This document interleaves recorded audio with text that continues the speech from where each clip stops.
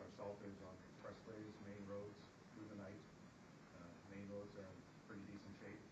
We'll be out with the local roads and uh, on sidewalks today, salting as well. Wherever we can get to, we understand there's still fallen branches and some cases wires on the roads and sidewalks. And we'll have to uh, treat those uh, with uh, caution. The second element we're working on today is uh, bringing traffic signals back. There are about 150 signals, as the mayor indicated, still without power. Many times those signals come back to normal service when the power is restored, but in some instances they turn to flashing all red. And we just want to remind motorists that wherever there's no power or a signal is flashing all red, that it should be treated as an all-way stop. Uh, we do have crews that will reset those signals. There's about three such signals operating right now that are flashing all red, and we'll have crews dispatched to return to normal service. And finally, the last element we're working on is clearing fallen branches and trees where it's safe to do so from the roadways. Uh, we've made great progress on Christmas Eve, yesterday Christmas Day, and we'll be working again today with about 20 crews to clear brush and fallen trees and branches from the main roads, removing the hazards and opening up capacity on our arterial streets and TTC routes. After we've done that, we'll be moving to the collector streets and local roads, again, where it's safe to do so. And we hope to uh, escalate that effort uh, tomorrow and onwards with about 40 crews. We're getting great cooperation from our colleagues in Toronto Water, Solid Waste, um, Forestry, and Parks. I'd be happy to take any questions. What percentage of the city's roads have been, you know, severely impacted by this storm? We don't have a uh, exact figure, but uh, it's mostly on the local streets. There are still some streets that uh, are not able to, uh, to be passable just because there's fallen trees and branches. Um, I would say it's a single-digit percentage. And for in terms of intersections and you know stoplights, do you have any idea of the scale of it there? Well, we have uh, about 2,200 signals, traffic signals in Toronto, and we're down to about 150 without power. Well, At the peak of it, how many were without power? Uh, at one time, we were at about 800, 800 to 900 signals without power. And, and sorry, is, is a signal a complete intersection, or would every intersection have four or five signals?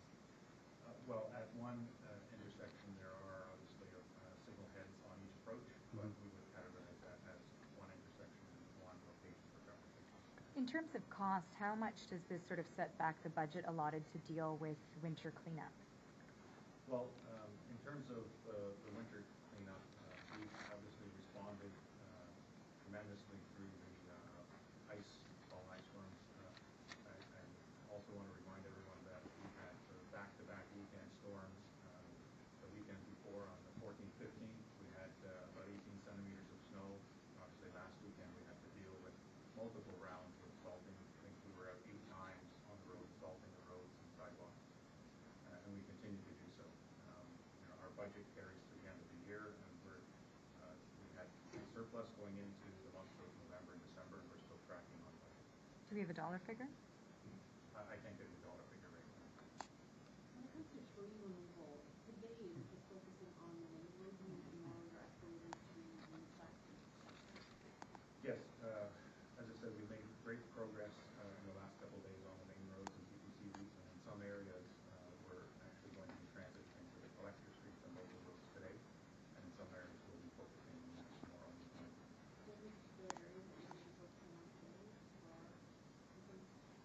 Well, I know that in, uh, in uh, the downtown area, Toronto, East York, New York area, um, you know, we obviously weren't, weren't as hard hit with uh, major fallen branches, and so some of those areas are uh, collector and local streets.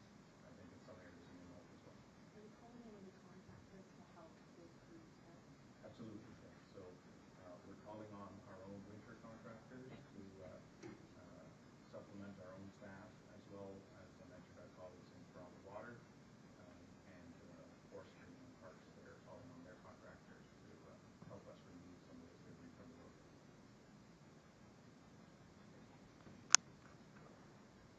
Well, folks, uh, again, I, I want to thank all the volunteers, um, all the people that donated food, all the people that have taken complete strangers inside their house during this challenging time. I want to thank John Livey and Councillor Minnan-Wong, who's been here every day um, through this. And we are not going to stop. Uh, Folks, we're not going to stop going these press conferences till every single